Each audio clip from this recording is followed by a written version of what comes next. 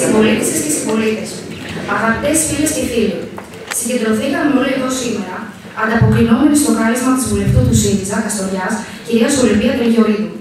Η βουλευτή με τη δράση της και την εμπειρία της επιδιώκει να συνεργάσει με εμά του νέους, προκειμένου να μας παροτρύνει να, να ασχοληθούμε με, με το πολιτικό γίγνεσθε και ως εκ τούτου να αποτελέσουμε συνεπικουρούς και συνδιαμορφωτές του μέλλοντος της χώρας. Ε, Εμείς οι νέοι από μεριά μας χαιρετίζουμε αυτή την πρόσκληση κάλεσμα και εξοπλιζόμαστε με θάρρος και αυτοπεποίθηση. Εξοπλιζόμαστε με θάρρος και αυτοπεποίθηση να θέσουμε όλες μας τις δυνάμεις στι υπηρεσίε της κοινωνίας. Για όλους εμάς που θέλουμε να ασχοληθούμε με τον τόπο μας και να είμαστε χρήσιμοι και ενεργοί πολίτες. Το δικό της παράδειγμα μπορεί να εμπνεύσει και να αποτελέσει εφαρτήριο για την δραστηριοποίηση και τη συμμετοχή μας. Είναι για εμάς λοιπόν πάντα ευχάριστο η πολιτική, οι πολιτικοί μας να ενδιαφέρονται και να γίνονται κοινωνοί στην προσπάθεια για την εξασφάλιση του δικαιώματός μας στη μόρφωση, στην εργασία, την ψυχαγωγία και τον πολιτισμό.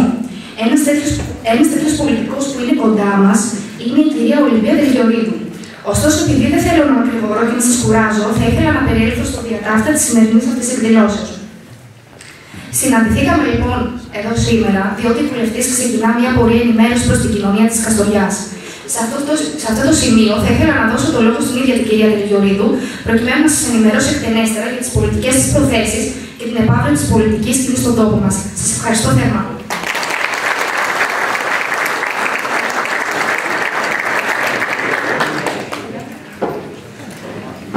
Φίλες και φίλοι, καταρχάς να σας ευχαριστήσω πάρα πολύ που ανταποκριθήκατε στην πρόσκλησή μου να βρεθούμε σήμερα εδώ και να συζητήσουμε για τις πολιτικές εξελίξεις.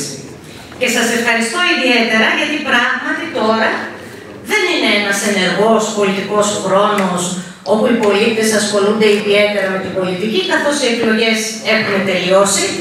Γι' αυτό και θεωρώ την παρουσία σας ακόμη πιο σημαντική γιατί δείχνει ότι για τους ενεργούς πολίτες, για όλους εμάς, η πολιτική έχει διάρκεια.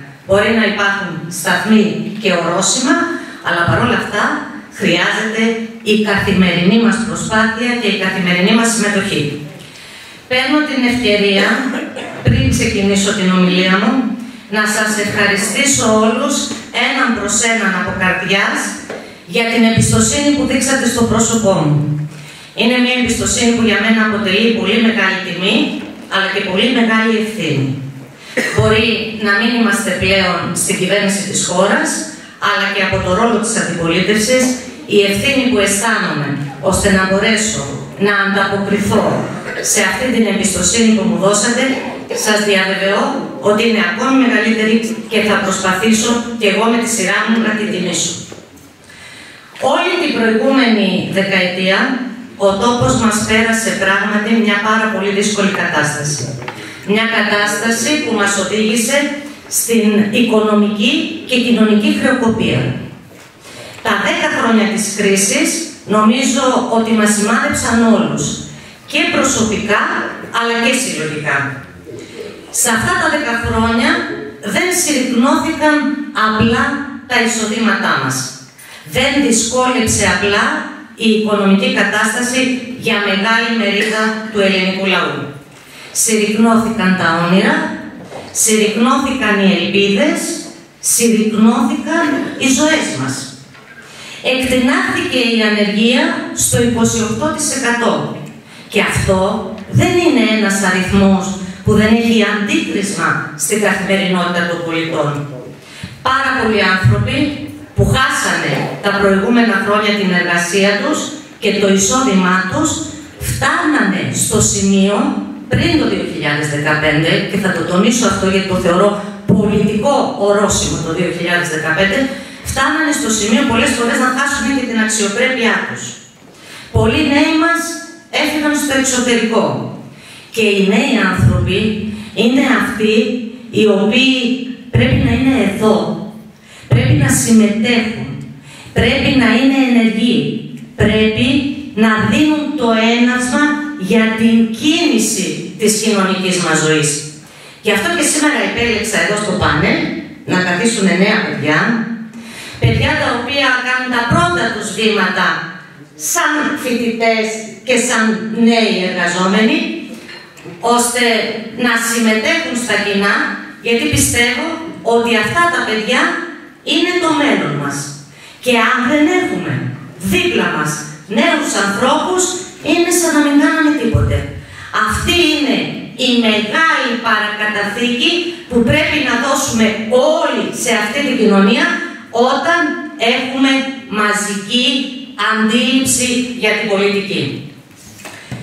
Αυτή λοιπόν τη δύσκολη κατάσταση έλαχε το 2015 ο ελληνικός λαός να θελήσει να την αντιμετωπίσει δίνοντας την κυβέρνηση στο ΣΥΡΙΖΑ.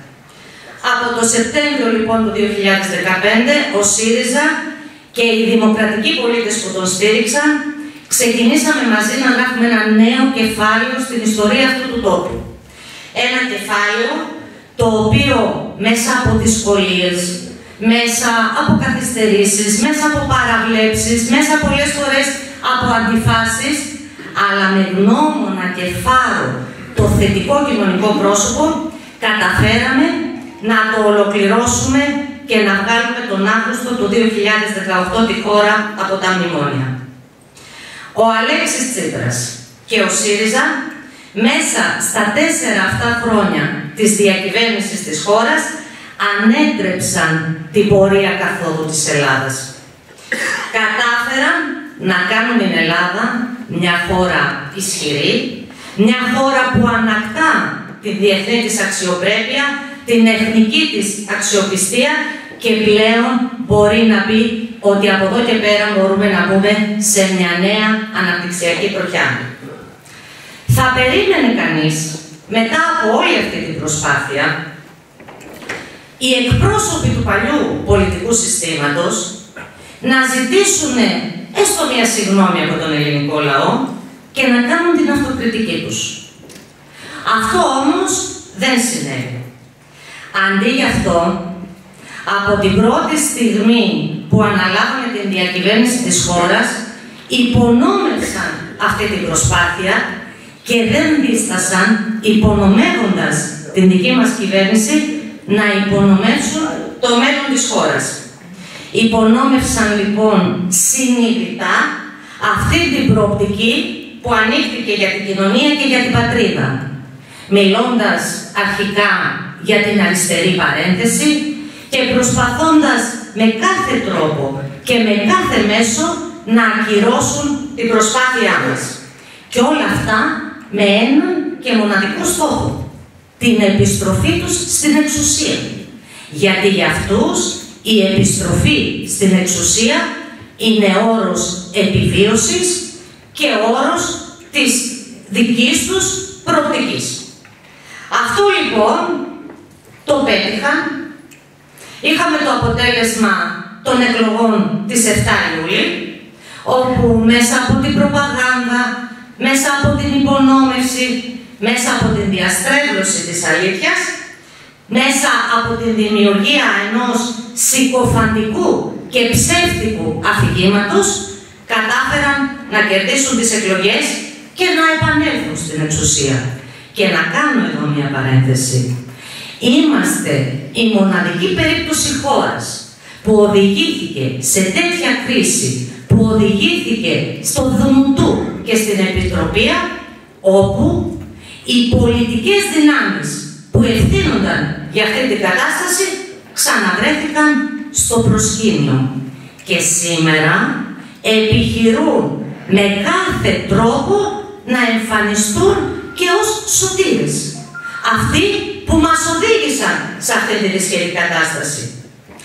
Οι πολίτες μη βλέποντας άμεσα να πραγματοποιούνται κάποια βήματα που θα έχουν άμεσο αντίκτυπο στην καθημερινότητά τους, επηρεασμένοι από το κλίμα που είχε δημιουργηθεί από τα μέσα μαζικής ενημέρωσης, δημιούργησαν ε, από το κλίμα που δημιουργήθηκε στον δημόσιο διάλογο, έδωσαν την νίκη στη Νέα Δημοκρατία. Αυτό βέβαια είναι σεβαστό.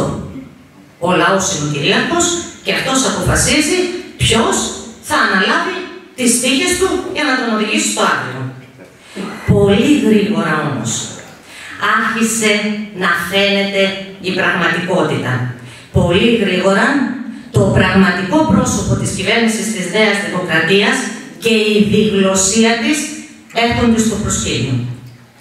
Η δυσχερής οικονομική κατάσταση, στην οποία επικαλούνταν εδώ και τέσσερα χρόνια ότι οδήγησε ο ΣΥΡΙΖΑ τη χώρα, μέσα σε λίγες μόνο εβδομάδες, μετά από την νίκη τους στις εκλογές, έγινε καθαρός, δεκαετής διάδρομος οικονομικής σταθερότητας. Η κυβέρνηση της Νέας Δημοκρατίας και ο κύριος Μητσοτάκης που όλο το προηγούμενο διάστημα λέγανε πόσο καταστροφική είναι η οικονομική μας πολιτική ως διαμαγείας κούνησαν το χεράκι τους και η οικονομική κατάσταση της χώρας αυτή τη στιγμή είναι σε άριστα επίπεδα. Από εκεί δηλαδή που λέγανε ότι όλα οδεύουν στην καταστροφή, ξαφνικά η οικονομική πορεία της χώρας είναι ανωδική. Είναι όμως η πρώτη κυβέρνηση στη μεταπολίτευση που δεν μπορεί ούτε για αστείο να ισχυριστεί ότι παρέλαβε χάος. Παραλάβανε μία χώρα εκτός μνημονίων. Παραλάβανε μία οικονομία με 37 δισεκατομμύρια ευρώ απόθεμα. Και εδώ να θυμίσουμε ότι το 2015 παρέδωσαν δημόσια ταμεία με μείον 400 εκατομμύρια ευρώ και μέσα σε τέσσερα χρόνια παραλάβουν μαξιλάρι 37 δις. Έρχονται λοιπόν αμέσως με το που αναλαμβάνουν την κυβέρνηση και αρχίζουν διθυραμβικές δηλώσεις για το πώς θα κινηθούν και ποια θα είναι η οικονομική τους πολιτική. Διθυραμβικές οι δηλώσεις τους, για παράδειγμα, για τα 200 επιπλέον εκατομμύρια ευρώ που βάζουν στον έμφυα. Πού τα βρήκαν αυτά τα λεφτά; Ποιος δημιούργησε αυτόν τον χρηματοοικονομικό χώρο; Και αν η, η κατάσταση της οικονομίας ήταν τόσο χάλια, αυτή πώς πέρα από την ψήφιση της μείωσης του έμφυα που κάναμε εμείς, βρήκαν επιπλέον 200 εκατομμύρια ευρώ. Δεν μας κατηγορούσαν προεκλογικά ότι εμείς διαλύσαμε τη χώρα. Επίσης, μας καταλόγιζαν ότι τα θετικά μέτρα που ψηφίσαμε είναι μέτρα τα οποία οδηγούν σε δημοσιονομικό εκτροχιασμό. Εμείς κάναμε κάποια μέτρα ύψους 7 δισεκατομμυρίων ευρώ, από, από τα οποία τα 5 εφαρμόζονταν και είχαν θετικό κοινωνικό πρόσωπο. Να μιλήσουμε για τα 2,5 εκατομμύρια ανασφάλιστων συμπολιτών μας που πλέον είχαν τη δυνατότητα πρόσβασης στο δημόσιο σύστημα υγείας. Να μιλήσουμε για το κοινωνικό εισόδημα αλληλεγγύης που πλέον ήταν ένα πολύ σημαντικό χέρι βοήθειας στους ανθρώπους που τα προηγούμενα χρόνια είχαν χάνοντας την αξιοπρέπειά τους φτάσει στο σημείο να ψάχνουν στα σκουπίδια για να φάνε. Υπονομεύθηκε όλη η κοινωνική μας πολιτική. Και τι μας λέγανε, ότι αυτά ε, είναι ασπιρίνες, είναι θέματα που δεν είναι αναγκαία να υπάρχουν, γιατί θα πρέπει πάνω απ' όλα να ενδιαφερόμαστε μόνο για τους υψηλούς κοινωνικούς δείκτες, χωρίς να ενδιαφερόμαστε καθόλου για την κοινωνική προστασία. Μετεκλογικά λοιπόν για τον ΕΦΙΑ βρήκανε τα 200 εκατομμύρια. Είναι βέβαια θετικό ότι έστω και τώρα καταλαβαίνουν ότι τα οικονομικά που τους παραδώσαμε δεν έχουν καμία σχέση με αυτά που παρέδωσε σε μας η κυβέρνηση του κυρίου Σαμαρά. Είναι όμως ιδιαίτερα προβληματικό το πώς η κυβέρνηση της Νέας Δημοκρατίας επιχείρησε να αξιοποιήσει αυτόν τον επιπλέον δημοσιονομικό χώρο που της παραδώσαμε. Γιατί, για παράδειγμα, για τον ΕΦΙΑ, τα χρήματα αυτά ευνόησαν τις μεγάλες περιουσίες, δηλαδή μόνο το 3,5% του λαού μας και δεν επιμερίστηκαν αναλογικά. προς το παρόν, γιατί πάνε πάρα πολλά προεκλογικά, δεν μας έχουν πει ακόμη τι θα κάνουν με το αφορολόγητο, τι θα κάνουν με τις ε, συντάξεις, τι θα κάνουν με τις προσλήψεις στην υγεία και στην παιδεία και για την διατήρηση του κοινωνικού κράτους και άρα της κοινωνικής συνοχής. Ανταυτού όμως πρόλαβαν να κάνουν άλλα πράγματα. Το επιτελικό κράτος λέει. Γιατί χρειάζεται ανασυγκρότηση το κράτος. Ένα κράτος που δεν είναι επιτελικό, αλλά έτσι θελικό. Ένα κράτος που επιστρέφει στην διοίκηση του κράτους τον κομματισμό. Χαρακτηριστικό παράδειγμα θα σας πω. Η προεδρία της κυβέρνησης υπό τον κύριο Μητσοτάκη πλέον θα έχει 400 υπαλλήλους. Από 80 που είχε ο Τσίπρας. Και αυτό το παρουσιάζουν ως μείωση. Οι υφυπουργοί, να σας πω ένα παράδειγμα, λέει ο κύριος Μητσοτάκης, δεν θα έχουν πάνω από έξι μετακλητούς. Επειδή διατέλεσα υφυπουργός, δεν είχα δικαίωμα να έχω πάνω από τρεις. Πώς εμείς δεν είχαμε πάνω από τρεις και αυτοί τους κάνουν έξι και το θεωρούν αυτό μείωση, νομίζω ότι μας επιστρέφει ο Κυριάκος Μητσοτάκης στα μαθηματικά του πατέρα του, όπως οι παλιότεροι θα θυμάστε, το 0 συν 0 ίσον 14. Προλάβανε να κάνουν και άλλα πράγματα. Να δυσφημίσουν την νεολαία μας. Και να πούνε ότι τα πανεπιστήμια μας είναι άνδρα ανομίας. Και άρα το πρώτο πράγμα που έπρεπε να κάνουν μόλις ήρθαν στην κυβέρνηση να καταργήσουν το πανεπιστημιακό άσυλο. Προλάβαν κι άλλα. Την καταστροφολογία για τη ΔΕΗ. Από την ώρα που ανέλαβαν την διακυβέρνηση της χώρας, αρχίσανε να λένε ότι η ΔΕΗ δεν είναι βιώσιμη, ότι χρωστάει πάνω από 5 δις. Ξεχνάνε ότι το 15 χρωστούσε 5 και αυτά εμείς τα μειώσαμε κάτω από 2. Δεν μας είπανε ότι πώς είναι δυνατόν μία επιχείρηση που δεν είναι βιώσιμη να κάνει επενδύσεις. Δημιούργησαν όλο αυτό το καταστροφικό περιβάλλον με έναν μόνο σκοπό. Να αυξήσουν τα τιμολόγια στο ρεύμα. Αύξηση που κατάπιε την απόφαση της κυβέρνησης του ΣΥΡΙΖΑ για την μείωση του ΦΠΑ στο ρεύμα από το 13% στο 6%.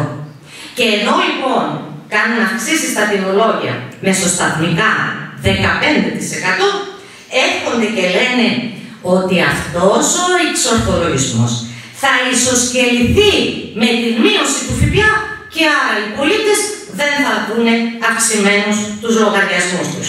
Αυτό όμως σημαίνει ότι οι πολίτες δεν θα δουν με αυτόν τον εξορθολογισμό και την μείωση του ΦΠΑ του ρεύματος που είχαμε κάνει. Να πούμε για την ΔΕΗ, γιατί είναι και στη Δυτική Μακεδονία ιδιαίτερα ενδιαφέρον, ότι όλο αυτό που έγινε για την παραπληροφόρηση για την κατάσταση της ΔΕΗ γίνεται μόνο και μόνο για να καταφέρουν μέσα από αυτόν το σε εισαγωγικά εξορθολογισμό να πουλήσουν τα φιλέτα της ΔΕΗ στους ιδιώτες, όπως σκοπεύουν να κάνουν και με τα ΕΛΠΕ, με τα ελληνικά πετρέλαια, που τα παραλάβαμε με 370 εκατομμύρια ζημιά και την τριετία 15-18 κάθε χρόνο είχαν μέσο όρο κέρδη 750 εκατομμύρια και έρχονται σήμερα να ξεπουλήσουν μια από τις πιο υγιείς δημόσιες επιχειρήσεις, την επιχείρηση των ελληνικών πετρελαίων. Γιατί το κάνουν αυτό; Τα ελληνικά πετρέλαια είναι αυτά που έχουν τα δικαιώματα για την εξόριξη και την διαχείριση του φυσικού αερίου και του φυσικού μας πλούτου. Έρχονται λοιπόν εδώ και παραχωρούν τα δικαιώματα της εξόριξης και της έρευνας στους ιδιώτες. Αντίστοιχο παράδειγμα, είδαμε το φυσικό αέριο, που αφορά και τη δική μας περιοχή. Θυμάστε όλοι πολύ καλά ότι από το 12 που είχαν αποφασιστεί οι συμφωνίες με το Αζερβαϊτζάν, περνούσε ο αγωγός από την περιοχή χωρίς να έχουμε εμείς την δυνατότητα να έχουμε δίκτυο φυσικού αερίου και άρα αξιοποίησή του για την κατανάλωση της ενέργειας με μεγάλη προσπάθεια και το Υπουργείο Ενέργειας και η Περιφέρεια Δυτικής Μακεδονίας με τον κύριο Καρυπίδη καταφέραμε να δημιουργήσουμε τις προϋποθέσεις ώστε η Καστοριά, το άλλο οριστικό και το Μανιάκι να πάρουν φυσικό αέριο. Και έρχεται σήμερα ο σημερινός Περιφερειάρχης να λέει στα Γρεβενά δεν μπορεί η ΔΕΔΑ να κάνει αυτό το έργο και να το δώσουμε σε ιδιώτες. Είναι βέβαια ένα βήμα το γεγονός ότι πλέον αναγνωρίζει ότι θα γίνει αυτό το έργο, γιατί προεκλογικά λέγανε ότι είναι ένα προεκλογικό ψέμα, αλλά και πάλι στο βωμό των ιδιωτικών συμφερόντων. Γιατί το μόνο που μας ενδιαφέρει είναι οι λίγοι και οι εκλεκτοί. Τέσσερα ολόκληρα χρόνια λένε ότι το, πρώτο πράγμα που θα κάνουν είναι να κάνουν μια διαπραγμάτευση για τη μείωση των πρωτογενών πλεονασμάτων. Δεν λένε ότι μας παραδώσανε πρωτογενή πλεονάσματα στο 4,5% από το 2016. Ότι η δική μας κυβέρνηση τα έκανε 0,75 για το 2016, 1,75 για το 2017 και 3,5% τώρα. Το 4,5% που παραλάβαμε το ξεχνάμε και οι ίδιοι λέει θα τα μειώσουν. Όμως τελικά το μόνο που κάνουν είναι να μεταθέτουν αυτή την ε, περίπτωση για τα πρωτογενή πλεονάσματα στο μέλλον. Και με τον πλέον επίσημο και, και εμφαντικό τρόπο ο κυβερνητικός εκπρόσωπος ο κύριος Πέτσας λέει ότι ε, δεν μπορούμε τώρα να το κάνουμε, αλλά θα το κάνουμε το 2021 που ούτως ή άλλως θα γινόταν. Επιβεβαιώνονται λοιπόν από τα χείλη του κυβερνητικού εκπροσώπου η απάτη και της Νέας Δημοκρατίας και του κυρίου Μητσοτάκη. Και πέρα από αυτό απορρίπτονται και την πολιτική τη δική μας με βάση τον καταπιστευτικό λογαριασμό των 5,5 ε, δισεκατομμυρίων ευρώ, ώστε από το 3,5 να πάμε στο 2,5%. Όσο όμως και αν προσπαθούν να διασκεδάσουν τις εντυπώσεις, η κυβέρνηση αργά ή γρήγορα θα βρεθεί μπροστά και αντιμέτωπη με τα ψέματά της. Η μείωση του έφια, οι 120 δόσεις, οι συντάξεις χειρίας δόθηκαν γιατί αυτά ήταν νόμοι της κυβέρνησης του ΣΥΡΙΖΑ και είχαν προϋπολογιστεί στον προϋπολογισμό του 2019. Ούτε μείωση του έμφυα θα μπορούσαμε να έχουμε, ούτε 120 δόσεις, εάν αυτά δεν είχαν προϋπολογιστεί. προϋπολογιστεί. Στους προϋπολογισμούς δεν χωράνε ούτε ψεύτικες δηλώσεις, ούτε ψεύτικες υποσχέσεις, ούτε ναι μεν αλλά. Θα δούμε λοιπόν εκεί στον προϋπολογισμό του 2020 που θα αναγκαστεί ο κύριος Μητσοτάκης να φέρει στη Βουλή να αποκαλύπτεται το πραγματικό σχέδιο των περικοπών προκειμένου να χρηματοδοτήσει τις φορολογικές ελαφρύνσεις για τα μεγάλα επιχειρηματικά συμφέροντα. Η Νέα Δημοκρατία μέσα σε πάρα πολύ λίγο χρόνο απέδειξε τη διγλωσία της. Για παράδειγμα, να πούμε για το μάτι. Προεκλογικά, πάνω σε αυτή την ανίποτη τραγωδία, λέγανε ότι φταίει ο ΣΥΡΙΖΑ, φταίει ο Τσίπρας, φταίει η Δούρου.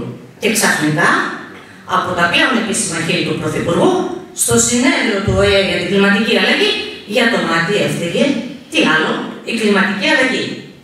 Καταφύγανε όμως προεκλογικά σε την πορυχία. Πατήσανε πάνω στα πτώματα των αθώων πολιτών που δυστυχώς έχασαν τη ζωή τους. Και τσιμουδιά για τον κύριο Τσουβάλας. Ο κύριος Τσουβάλας ήταν ο αρχηγός της ελληνικής αστυνομίας όταν έγινε το μάτι. Και τότε η Νέα Δημοκρατία ζητούσε από εμάς να τον παρετήσουμε. Σήμερα τον αναβάθμισε σε γενικό γραμματέα του Υπουργείου Προστασίας του Πολίτη. Ας πάμε τώρα στη διγλωσία τους για τη Συμφωνία των Πρεσπών. Επί μήνες η Νέα Δημοκρατία και ο κ. Μητσοτάκης επιδόθηκαν σε μια απίστευτη πατριδοκαπηλεία. Υποδάβλησαν τον εθνικισμό και την ακροδεξιά συνωμοσιολογία μόνο και μόνο για να αλλιεύσουν ψήφους από τα ακροδεξιά. Φτάσανε ακόμη στο σημείο να λένε ότι εμείς ανταλλάξαμε τη συμφωνία των Πρεσπών με την περικοπή των συντάξεων. Πού είναι όλοι αυτοί οι Μακεδονομάχοι που και στην Καστοριά ερχόταν έξω από το γραφείο μου με θηλιές και κρεμάλες για να με σκοτώσουν; Τι έχουν να πούν σήμερα όλοι αυτοί για την κολοτούμπα της Νέας Δημοκρατίας; Μόλις δέκα μέρες μετά τις εκλογές, ο Υπουργός Εθνικής Άμυνας λέει η συμφωνία αυτή είναι θετική για ένα καλύτερο μέλλον και για τις δύο χώρες. Ο αναπληρωτής Υπουργός Εξωτερικών μιλά για εποφελείς τρόπους συνεργασίας και για τις δύο πλευρές. Πού είναι το βέτο, πού είναι η διαπραγμάτευση που θα έφτιαχναν εν ώψη της, ε, της ένταξης της Βόρειας Μακεδονίας στην Ευρώπη; Τώρα, στις 18 Οκτωβρίου γίνεται αυτή η συζήτηση. Θα ασκήσουμε αυτό το βέτο ή και αυτό ήταν άλλα λόγια να αγαπιόμαστε. Άκουσα το μεσημέρι τον εδώ βουλευτή της Νέας Δημοκρατίας να λέει η συμφωνία των Πρεσπών ε, δεν είναι καλή, αλλά εγώ θέλω να ανοίξει ο συνοριακός σταθμός στο λαιμό για να έρχονται οι Σκοπιανοί και να έχουμε τουρισμό. Αυτό λέγεται τα καλά του Γιάννη θέλω και τον Γιάννη δεν θέλω. Δεν μπορούμε λοιπόν παρά να τους ευχηθούμε καλή επιστροφή στην πραγματικότητα. Καλή επιστροφή στην πάγια εθνική γραμμή της εξωτερικής μας πολιτικής. Αλλά και καλά ξεδερδέματα με τους ακροδεξιούς και τους, εθνο, τους εθνικιστές που με αφορμή τη Συμφωνία των Πρεσπών ενσωμάτωσαν στο κόμμα τους. Η εξωτερική πολιτική δεν επιδέχεται μικροκομματικές λογικές και πρακτικές. Η εξωτερική πολιτική είναι πάρα πολύ σοβαρή υπόθεση και πρέπει να επιχειρεί να αναβαθμίζει τη σχέση της χώρας στο εξωτερικό, να δημιουργεί συμμαχίες, να δημιουργεί συμφωνίες, να μπορεί η χώρα να είναι μια χώρα σταθερότητας σε ένα ιδιαίτερα γεωπολιτικό περιβάλλον. Εμείς λοιπόν αναπτύξαμε μια πολυδιάστατη εξωτερική πολιτική, με διμερείς και τετραμερείς σχέσεις, με την Αίγυπτο, με το Ισραήλ, με την Κύπρο. Θέλω να πιστεύω και να ελπίζω ότι θα τις συνεχίσουν. Υπάρχουν όμως δείγματα που δεν είναι και πολύ ενθαρρυντικά για κάτι τέτοιο. Για παράδειγμα, αυτή τη στιγμή υπάρχει μια μεγάλη κρίση με την Τουρκία, με τις προκλητικές δηλώσεις του Ερντογάν, με το γεγονός ότι αυτή τη στιγμή τέσσερα πλοία βρίσκονται στην ΑΟΣ της Κύπρου. Εδώ πώς αντιδράει η κυβέρνηση; Ο Πρωθυπουργός μας είπε ότι τα πλοία αυτά βρίσκονται ανοιχτά της Κύπρου. Ανοιχτά της Κύπρου.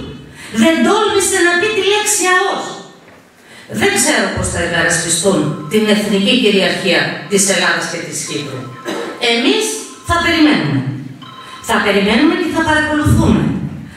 Αλλά εάν επιχειρηθεί να γίνουν ανατολίτικα παζάρια στην Κύπρο και στο Αιγαίο, θα μας βρουν απέναντι. Άλλο θέμα διπλωσίας. Το προσφυγικό. Τους πρόσφυγες τους έφερνε ο ΣΥΡΙΖΑ και η Τασία, η κυρία Τασία τους έλεγε ελάτε να λιαστείτε στο Σύνταγμα. Άνοιγε τα σύνορα ο Τσίπρας και έλεγε ελάτε. Και αυτοί τα ερχόταν και τα βάζαν τάξη. Και ξαφνικά το προσφυγικό οφείλεται λέει, σε γεωπολιτικούς λόγους. Η κυβέρνηση της Νέας Δημοκρατίας άρχισε πάρα πολύ να κατανοήσει και να δράσει για το προσφυγικό ζήτημα. Απέναντίας έδωσε μια πολύ μεγάλη διασύνη να καταργήσει το Υπουργείο Μεταναστευτικής Πολιτικής. Και δεν υπήρχε θέμα με το οποίο πρέπει να ασχοληθούμε σοβαρά; Τι το θέλουμε το Υπουργείο; Καθυστέρησε λοιπόν να κάνει την άμεση αποσυμφόρηση των νησιών. Παραδώσαμε τη Μόρια για παράδειγμα με 5.000 πρόσφυγες και σήμερα είναι πάνω από 12.000. Και τώρα άρχισε να καταλαβαίνει ότι κάτι γίνεται και ότι θα πρέπει οι άνθρωποι αυτοί να αντιμετωπιστούν όπως επιβάλλει η ελληνική και η ευρωπαϊκή νομοθεσία. Όπως επιβάλλει το διεθνές δίκαιο και τα ανθρώπινα δικαιώματα. Να θυμηθούμε λίγο την Καστοριά. Θυμάστε το 2016 όταν σε ξενοδοχείο ήρθαν 60 πρόσφυγες από τους οποίους τα 38 ήταν παιδιά. Τι περάσαμε. Τι ύβρις και απειλές δέχτηκα εγώ στο γραφείο μου και στο σπίτι μου; Για 38 παιδάκια από τα οποία κινδύνευε λέει ο ελληνικός πολιτισμός σε πολύ μεγάλη εκτίμηση τότε έχουμε τον ελληνικό πολιτισμό των 2.500 χρόνων. Από 38 παιδάκια κινδύνευε. Κινδύνευε λέει η ελληνική χριστιανική θρησκεία. Πολύ μεγάλη εκτίμηση έχουμε στη χριστιανική θρησκεία και στη χριστιανική αγάπη. Και τι λέγανε τότε; Χαρακτηριστικά, ο κύριος Κασαπίδης. Έλεγε και πρόσφατα, τον Νοέμβριο του 2018, σε ανοιχτή συγκέντρωση στο Βόλιο. Η κυβέρνηση του ΣΥΡΙΖΑ φέρνει πρόσφυγες και εμείς δεν θα δεχτούμε στην Κοζάνη ούτε έναν πρόσφυγα. Η μόνη συζήτηση και συνομιλία που θα κάνουμε με υπουργούς της κυβέρνησης ΣΥΡΙΖΑ είναι για την ανάπτυξη. Τι είπε προχθές ο κύριος Κασαπίδης βγαίνοντας από τη συγκέντρωση των 13 περιφερειακών όταν τους κάλεσε ο κύριος Χρυσοχοίδης για τη διαχείριση του προβλήματος; Αυτό που είπε είναι ότι εμείς πρέπει να δώσουμε τις δυνάμεις μας και να βοηθήσουμε την κυβέρνηση να αντιμετωπίσει το πρόβλημα και να κάνουμε και στις περιφέρειες μας δομές φιλοξενίας. Θα έλεγα λοιπόν στον κύριο Κασαπίδη, αυτό που λένε στο χωριό μου, μεγάλη πουρκιαφάε, μεγάλη κουβέντα μη λες, γιατί θα τα βρεις όλα μπροστά σου. Ήταν λοιπόν άκρος διαλυτική η πολιτική τους για το προσφυγικό. Πήγανε να καταργήσουν την Δευτεροβάθμια Επιτροπή Ασύλου. Μόλις όμως κατάλαβαν ότι αυτό θα καθυστερούσε ακόμη περισσότερο γιατί οι άνθρωποι αυτοί με βάση το διεθνές δίκαιο έχουν το δικαίωμα να προσφύγουν στα διοικητικά δικαστήρια, το πήραν πίσω. Ήταν πάρα πολύ έτοιμοι. Σε όλα ήταν έτοιμη η κυβέρνηση της Νέας Δημοκρατίας. Έτοιμη να μην τα αντιμετωπίσει. Γιατί έχουν κάτω από το χαλί τα σκουλίκια. Γιατί η ρητορική της, η ακραία ρητορική της όλο το προηγούμενο διάστημα δεν της επέτρεπε να δει τα πράγματα κατάματα την πραγματικότητα και να προσπαθήσει να τα αντιμετωπίσει. Προς το παρόν, η πολιτική τους είναι μία πολιτική πισωγυρίσματος. Εγώ θα το πω και από αυτό εδώ το βήμα, είναι ακόμα πάρα πολύ νωρίς. Αλλά τα πρώτα βήματα είναι πάρα πολύ αρνητικά. Οδήγησαν ήδη στην απορρίθμιση των εργασιακών σχέσεων, στην απορρίθμιση της κοινωνικής συνοχής, στην επιστροφή του αυταρχισμού, στην υπονόμευση του κοινωνικού κράτους. Επιστρέφουμε και πάλι στην μείωση των μισθών, που να θυμίσουμε ότι επί κυβέρνηση ΣΥΡΙΖΑ ο κατώτατος μισθός αυξήθηκε 11% και είχαμε πει 7,5% για την επόμενη διετία κάθε χρόνο και καταργήσαμε τον υποκατώτατο μισθό.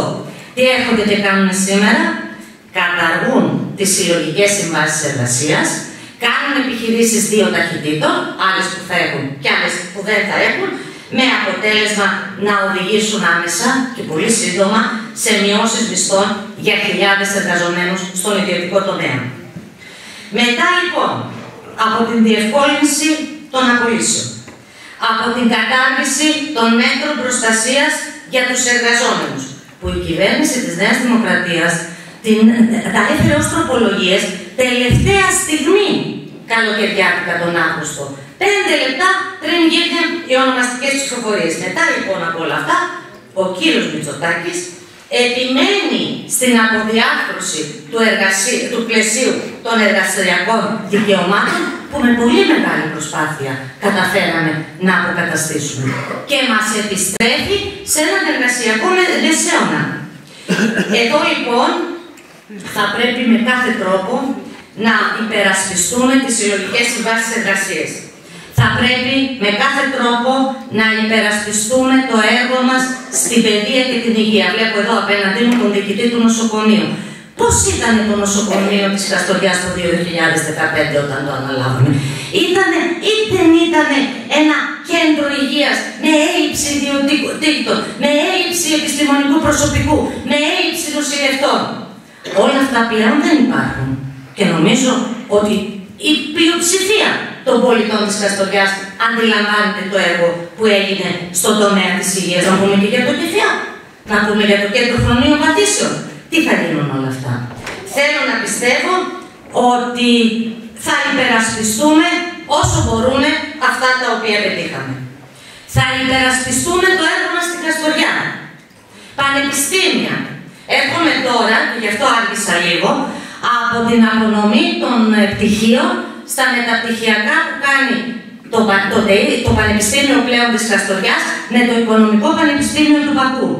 Και ξέρετε τι λέγανε όλοι εκεί, ότι πλέον η Καστοριά απέκτησε μια πανεπιστημιακή μονάδα πολύ ισχυρή. Και ελπίζω να μην έχουμε οπισθοδρόμηση σε αυτό.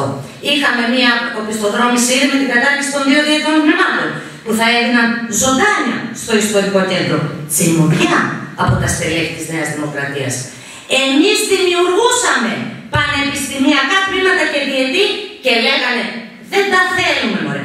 Τι να τα κάνουμε, να αυξήσουμε την εγκληματικότητα στην Καστοριά, αυτός είναι ο σεβασμός τους και η αγάπη τους για την νεολαία. Θα ερχόταν εδώ οι νέοι άνθρωποι και θα αυξανόταν η εγκληματικότητα. Και η κυρία Κεραμέως ανοίγει ένα πολύ ύποπτο παράδειγμα, παράθυρο. Βγαίνει και λέει χθες ότι θα είναι οι πτυχιούχοι των κολεγίων ισότιμοι με το Πανεπιστήμιο και δεν θα περνάνε από το ΔΕΑΤΑ. Καταλαβαίνετε τι σημαίνει αυτό. Ανοίγει το παράθυρο για την ιδιωτική εκπαίδευση. Και ευθαρσώ σήμερα, σε αυτή την εκδήλωση, ο βουλευτής της Νέας Δημοκρατίας είπε ότι εμείς τώρα θέλουμε να κάνουμε και αγγλόφωνα πανεπιστήμια και να ανοίξουμε τον δρόμο για την ιδιωτική εκπαίδευση. Την εκπαίδευση δηλαδή που οι νέοι άνθρωποι θα πρέπει να έχουν για να πληρώσουν και να την αποκτήσουν. Και αυτό σημαίνει ότι θα πρέπει να υποβαθμιστεί η τριτοβάθμια εκπαίδευση και ο στόχος είναι τα μικρά πανεπιστήμια της Δυτικής Μακεδονίας, των Ιωνίων και του Αιγαίου να κλείσουν για να υπάρχει πελατεία για τα ιδιωτικά ΕΚ και τα ιδιωτικά κολέγια.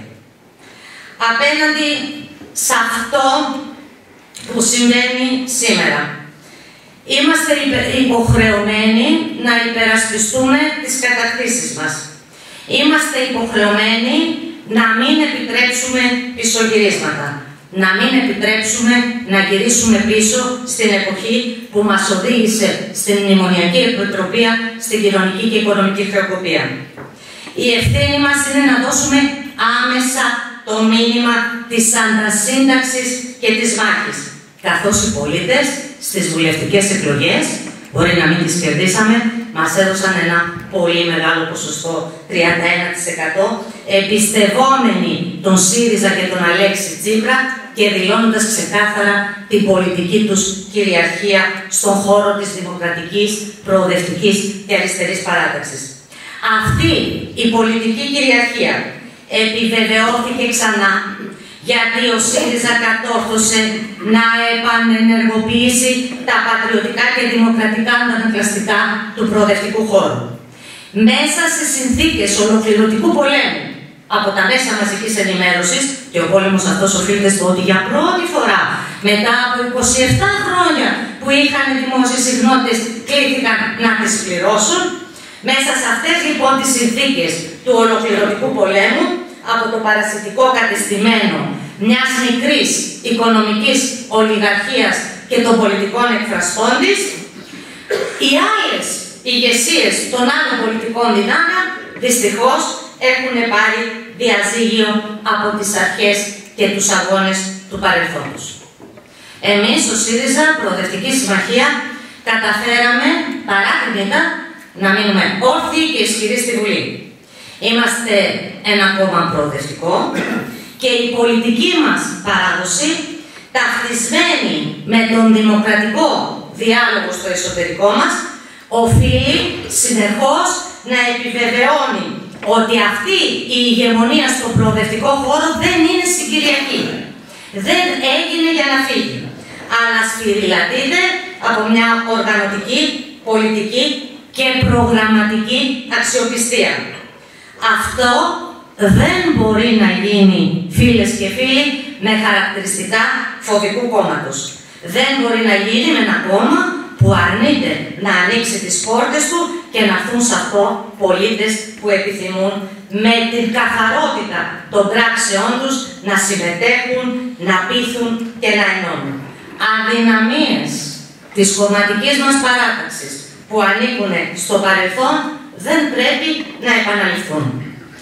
Ιδιαίτερα η αδυναμία αυτή στον χώρο της τοπικής αυτοδιοίκησης και βλέπω εδώ τον ε, Παναγιώτη Τοκότα, ο οποίος έδωσε μάχες στην περιφέρεια για να μην περάσει αυτή η συκοφαντία και η παραπλάνηση που υπήρχε, αυτή όμως η αδυναμία, ήταν στην τοπική αυτοδιοίκηση, ήταν και ένας από τους λόγους που δεν κατάφερε ο ΣΥΡΙΖΑ να περάσει το μήνυμά του και στο τελευταίο πολίτη. Έτσι λοιπόν πιστεύω ότι θα πρέπει να δυναμώσουμε και σε τοπικό επίπεδο. Στις σημερινές συνθήκες θα ήταν καταστροφικό να μην αντιμετωπίσουμε τις αδυναμίες αυτές και να περιοριστούμε σε μια λογική όριμου φρούτου που θα περιμένουμε να πέσει η κυβέρνηση όταν αποκαλυφθεί και θα αποκαλυφθεί πλήρως πάρα πολύ γρήγορα. Μιλάμε για το πιο άσχημο πρόσωπο της νεοφιλελεύθερης πολιτικής.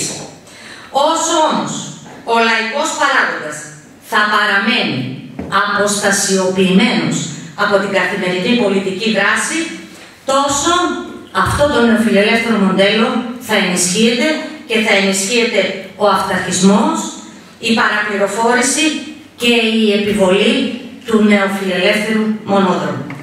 Αυτό που χρειάζεται σήμερα η χώρα είναι ένα ανοιχτό, μαζικό, κόμμα κίνημα που θα γίνει η ασπίδα της υπεράσπισης των κοινωνικών κατακτήσεων και των πολιτικών ελευθεριών και θα βοηθήσει στο να επιστρέψουμε στη διακυβέρνηση για να αποκαταστήσουμε την ζημιά που ήδη έχει αρχίσει να συντελείται. Αυτό σημαίνει ότι δεν μπορούμε να επιτρέψουμε στους εαυτούς μας στασιμότητα. Γι' αυτό και σας κάλεσα σήμερα εδώ. Μπορεί να μην είναι περίοδος προεκλογική, θέλω όμως να σας πω ότι εμείς είμαστε αποφασισμένοι να μην είμαστε εσωστρεφείς και να μην δημιουργούμε ε, όλη την δράση μας με ητοπάθεια.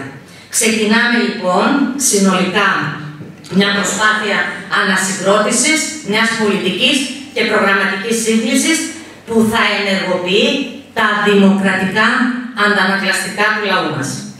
Η έκφραση μιας νέας, προοδευτικής, δυναμικής εκπροσώπησης δεν είναι υπόθεση των λίγων. Ο ΣΥΡΙΖΑ δεν μπορεί σήμερα να είναι ούτε λέσχη συζητήσεων, ούτε κόμμα διαμαρτυρίας. Όπως είπε και ο Αλέξης Τσίπρας, η συνάντηση των ιστορικών ευμάτων της αριστεράς και των σοσιαλιστών με τους δημοκρατικούς πολίτες του προοδευτικού κέντρου με τα νέα κοινωνικά κινήματα της οικολογίας και των δικαιωμάτων όχι μόνο δεν στάθηκε εμπόδιο για την ισχυροποίηση και την εδραίωση του ΣΥΡΙΖΑ, αλλά ήταν εκείνη η βάση που τον οδήγησε να γίνει ο εκφραστής όλων των δημοκρατικών και προοδευτικών πολιτών και αυτό λειτουργήσε πολλαπλασιαστικά και στην εκλογική του επιρροή. Αυτή λοιπόν η συμμαχία, η οποία φαίνεται με το 31%, πρέπει να ανακλάται και στο εσωτερικό του ΣΥΡΙΖΑ Προοδευτική Συμμαχία, με μαζικά χαρακτηριστικά που θα εκφράζουν μια νέα συστράτευση που θα δίνει προοδευτικές απαντήσεις στα προβλήματα της εποχής για τους νέους μας, για τους αργότες, για τους εργαζόμενους, για αυτούς που κάποτε λέγαμε μη προνομιούχους. Έχοντας λοιπόν μπροστά μας αυτό το πεδίο της μάχης, εμπιστευόμαστε τον κόσμο που μας εμπιστεύτηκε, όπως είπε ο Αλέξης Τσίπρας. Μέσα από την συμμετοχή των πολιτών και την αυτοοργάνωσή τους, διεκδικούμε να μετεξελιχθεί ο ΣΥΡΙΖΑ στον κύριο πολιτικό εκπρόσωπο των κοινωνικών στρωμάτων που παραδοσιακά συγκροτούν την δημοκρατική παράταξη στην Ελλάδα. Οι δυνάμεις που μας ανέδειξαν με το ποσοστό του 32% δεν μπορούν να βρίσκονται στο προθάλαμο του κόμματός μας. Τους καλούμε λοιπόν όλους όσους μας εμπιστεύτηκαν να συμμετέχουν στην μετεξέλιξη και την ανανέωση του κόμματός μας, καθώς αυτό είναι η εγγύηση για την πορεία μας στο μέλλον. Καλούμε όλους τους δημοκράτες να πλαισιώσουν την προσπάθειά μας στις αρχές της κοινωνικής αλληλεγγύης, της ελευθερίας και της πρόοδου. Να γίνουν συμμέτοχοι του εγχειρήματός μας και να πάρουν τον ΣΥΡΙΖΑ στα χέρια τους και το αύριο της χώρας στα χέρια τους. Όλοι μαζί, έχοντας μαζική αντίληψη για την πολιτική, χωρίς αποκλεισμούς, θέλουμε ένα κόμμα ανοιχτό, δημοκρατικό, συλλογικό, μαχητή για την δημοκρατία, την κοινωνική δικαιοσύνη και την υπεράσπιση των ανθρώπινων δικαιωμάτων. Με πίστη λοιπόν στις δυνάμεις μας, με σεβασμό στο έργο των γενιών που πέρασαν και στις παρακαταθήκες τους, με επίγνωση των τεράστιων δυσκολιών που έχουμε να διαχειριστούμε, σήμερα μπορούμε να βλέπουμε το μέλλον με αυτοπεποίθηση. Και σας καλώ αυτό να το κάνουμε όλοι μαζί, έχοντας μια συλλογική αντίληψη για την πολιτική και οφείλουμε να συνεπάρξουμε. Παρά τις διαφορές μας, παρά τον διαφορετικό μας λόγο, οφείλουμε να συνεπάρξουμε και να προχωρήσουμε μαζί στο μέλλον. Μπορούμε να το κάνουμε και εγώ είμαι βέβαιη ότι θα πετύχουμε. Σας ευχαριστώ πάρα πολύ.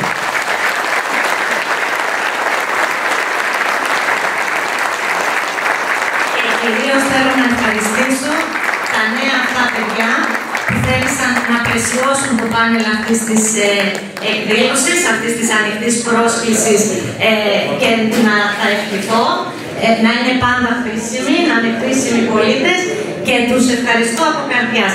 Γιατί οι νέοι μαζί με την εμπειρία των μεγαλύτερων